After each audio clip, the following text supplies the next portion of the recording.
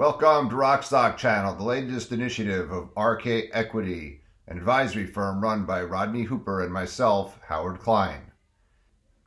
In advance of Battery Day, less than two days away, I'm going to discuss a note I wrote called A Nickel for Elon's Thoughts in my lithium ion bull.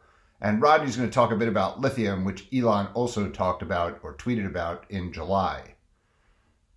Why did Elon plead for mining companies to mine more nickel in his Q2 earnings call on July 22nd? What are the biggest constraints now? Well, I'd just like to reemphasize, emphasize, you know, any mining companies out there, please mine more nickel. Because there's an impending shortage in a few years, as we've been arguing for months and years. EV battery plants could take up to one to two years to build, but mines take five, seven, or ten years to build and are hugely capital intensive. Step number one, mining, takes way longer than basically all of the other steps. I mean, the best case scenario for developing a mine, absolute best case scenario is five years. But you're looking at 20 years to do exploration campaigns, to develop a mine fully before that thing even starts to produce anything of value. And even when it starts producing, it may not necessarily be valuable to an automaker in the future. And because of that dislocation between the first step and the last step in the supply chain, we're starting to see some of these worrying trends, like we have on the right hand side of this page, where if you look at the lithium chemicals market for supply and demand, there's just no two ways to cut the story. We are going to be in severe shortage of lithium. And there are similar charts for nickel and cobalt chemicals. Don't wait for nickel to go back to some long, some high point that you experienced some five years ago or whatever, Tesla will give you a con- giant contract for a long period of time if you mine nickel efficiently and in, an environmentally sensitive way. But why are nickel miners like Vale instead shutting down mines rather than building them like they're doing in New Caledonia? Because nickel prices are low and they're quite volatile. Wood Mackenzie, among several other widely followed forecasters suggest nickel prices must be at $20,000 a ton or $9 a pound in order to ensure an incentive price for the large volumes Elon is seeking. Is Elon really willing to pay for a giant contract for a long period of time at prices 70% higher than the last five years' average nickel price? RK Equity keeps track of all the nickel producers and developers on its nickel scoreboard. You can see the impact Elon's message has had on creating speculative interest in developers hoping to become Tesla suppliers. Some of them have jumped two and four times in the last couple of weeks. The nickel industry is about 30 billion in revenue in total, approximately 2 million tons, which is 10 times bigger than lithium in dollar terms, 7 times greater in volume terms, but it's quite small relative to aluminum, gold, copper, iron ore. In a July tweet, Elon uh, pulled off Nirvana's Lithium and kind of said it's a great song. So, uh, as he was thinking about lithium, so I wrote about Nirvana nickel in my note, a nickel for Elon's thoughts, to kind of pin down what I see as the critical factors I look for uh, in any nickel development company that might attract his attention. If it's in a good jurisdiction like the USA, I think that's good. If it's high grade, if it's profitable at current prices, it doesn't need uh, you know prices to rise uh, 50, 70%. Those are, you know, nickel nirvana in my opinion.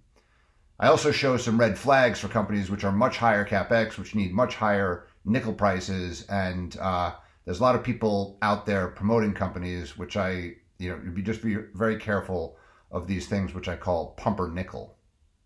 My good friends at Benchmark Minerals are hosting a uh, Battery Day event, post Tesla Battery Day event on the 23rd, at which a number of nickel companies will be presenting, as well as some lithium and other interesting companies. I encourage you to uh, check that out.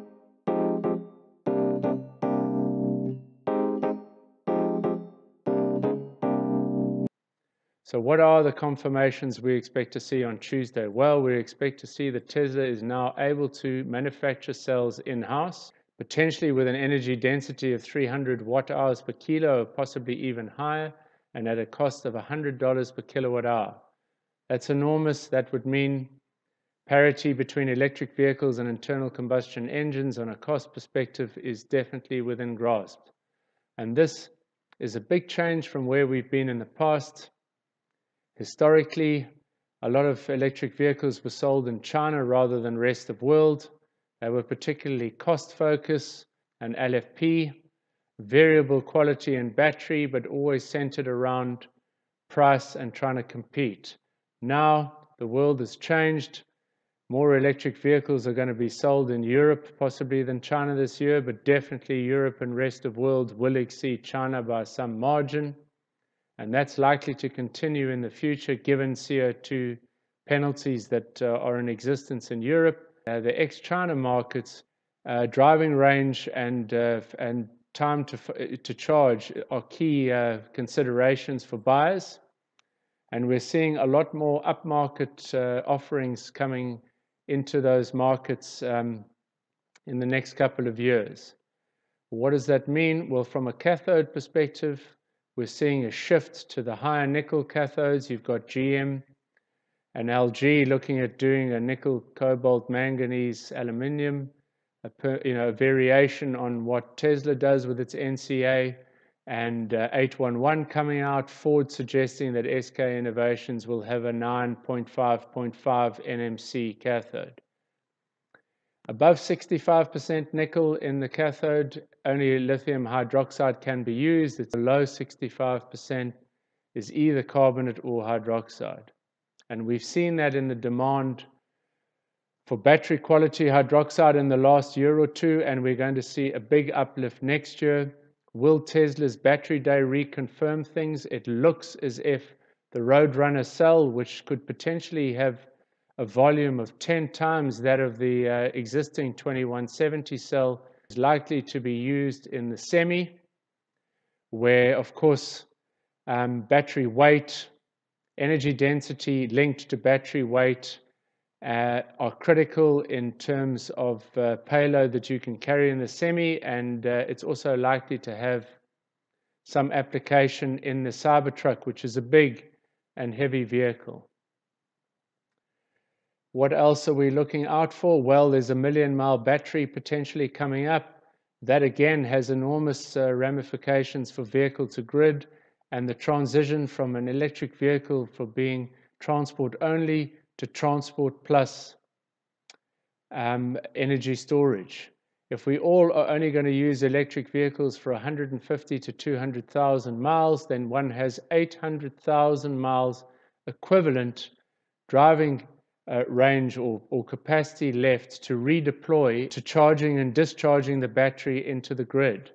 We are charging using renewables and discharging and displacing much higher carbon emitting forms of energy like coal, natural gas. It's theoretically possible if you use it enough that an electric vehicle has a negative effective carbon emission over its life if you allow the offset.